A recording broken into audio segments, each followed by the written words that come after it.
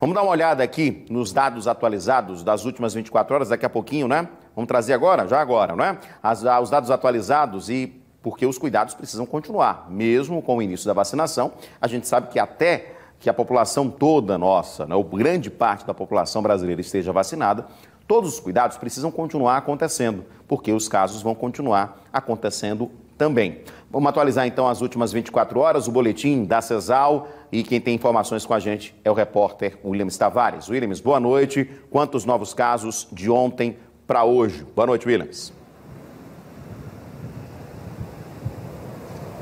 Boa noite, Edson Moura. Boa noite para quem assiste ao Cidade Alerta Lagoas. Segundo o boletim divulgado pela Secretaria de Estado da Saúde, nas últimas 24 horas foram confirmados 373 novos casos da Covid-19 em Alagoas.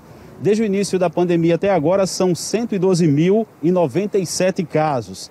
Estão em isolamento domiciliar 2.597 pessoas. Os casos suspeitos são 7.763. No total, são 2.000 638 óbitos. Estão recuperados da doença em Alagoas 106.495 pessoas. Nas últimas 24 horas foram contabilizadas nove mortes, sendo quatro na capital e cinco no interior do estado.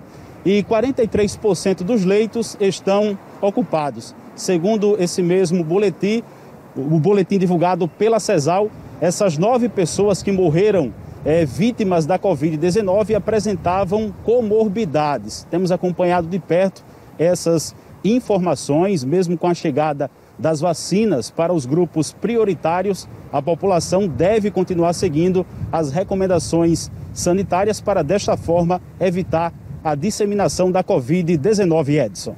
Exatamente, Williams. É um compromisso de todos, né? A gente tem a esperança da vacina, mas não adianta a gente estar tá vacinando de pouquinho em pouquinho, porque vai ser assim realmente até chegarmos doses, até chegar doses, uma quantidade maior de doses. Não adianta estar tá enxugando gelo, ou seja, enquanto a, a gente está tendo esse esforço enorme aí para vacinar, nós, que ainda não fomos vacinados, que vamos entrar na fila, mas ainda estamos lá atrás na fila, é não nos cuidarmos também, né? não tomarmos exatamente os cuidados, utilizando a máscara, o distanciamento e etc.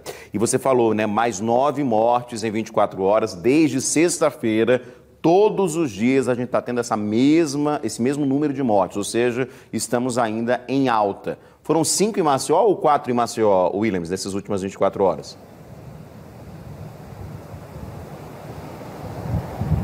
Foram quatro em Maceió e cinco no interior do estado, Edson.